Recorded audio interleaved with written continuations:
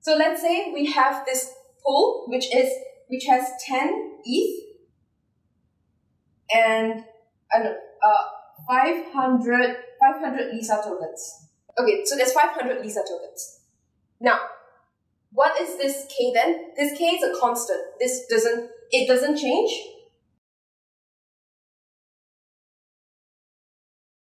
And it's, it's a constant at a state. This is the amount of that we start with, right? So what is the constant here then? Then it's 10 ETH multiplied by 500 Lisa tokens, and that gives us 5000. And this is, again, the constant.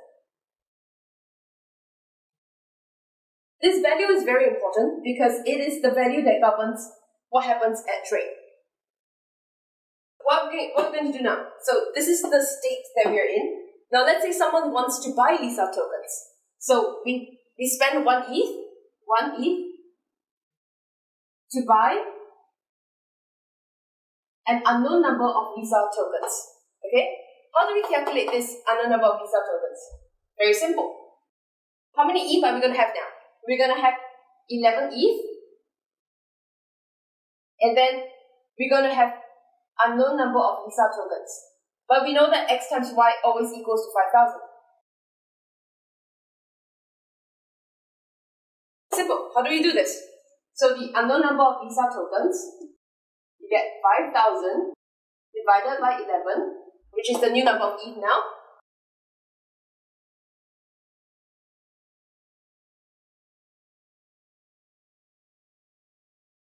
You get 454.5 Lisa tokens. Okay? This means that at the end of this transaction, there will be 11 ETH in there and 545.5 Lisa tokens. And what happens to the remaining? Well, that's what you do. The whole thing about exchange is that you give something to take something out, right? So you give one ETH, and how much Lisa tokens are you getting out? So this amount over here is is 500 Lisa tokens minus this 45 454.5 tokens and you withdraw 45.5 Lisa tokens. Understand? So it's quite simple. What I'm assuming here is that there is no trading fees.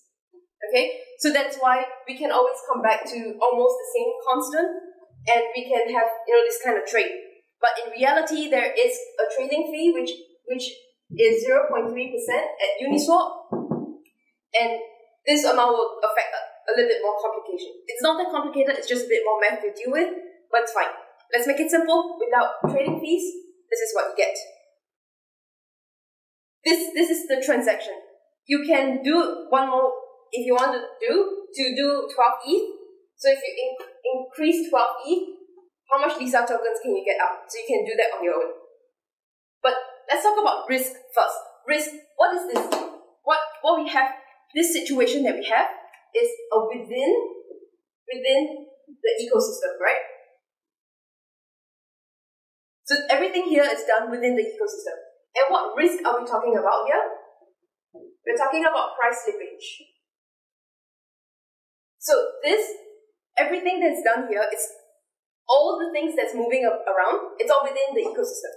You don't really care about what's happening, you know, of Lisa token that's listed on Binance or or CoinMarketCap or whatever. Everything is done here. But you still have a risk because you have price slippage. So for example, someone gets to purchase it before you. So let's take a look. If you're the first buyer, so you, you purchase 11th token. Now if you're the second buyer, so you have, so now it's 12 ETH. So it's 4999.5 divided, divided by 12 ETH. And that's how many Lisa tokens we, we get. And that amount is 4,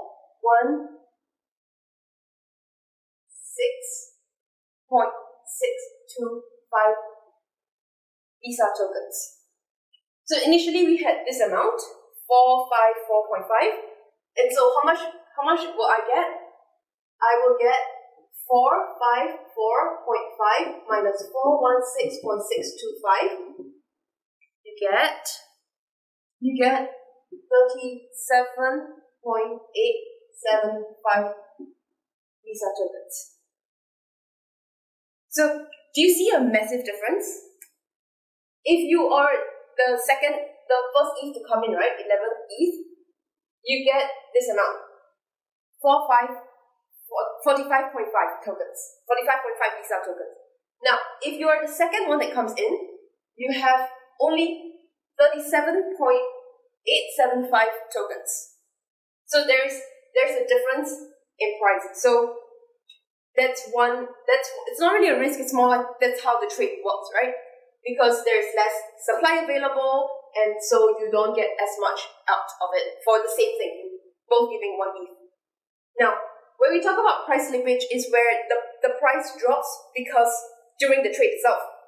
So maybe so this is an extreme example, but what if we look at a situation where the the prices so you you agree to take this amount out, right?